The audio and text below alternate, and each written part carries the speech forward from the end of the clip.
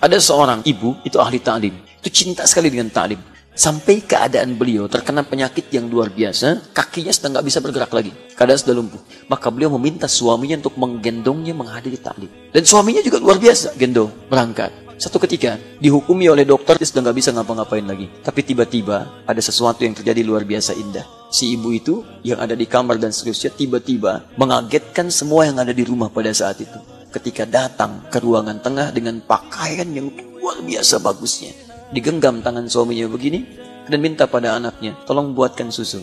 Dibikinkan susu pada saat itu. Belum hilang kagetnya diminum, tolong bacakan Quran. Mama ingin dengar. Begitu kedua anak baca Quran, ibunya tenang. Sampai tak terasa ikatannya, pegangannya sudah sedemikian kuat. Ketika dilihat ternyata tangannya sudah kaku, meninggal.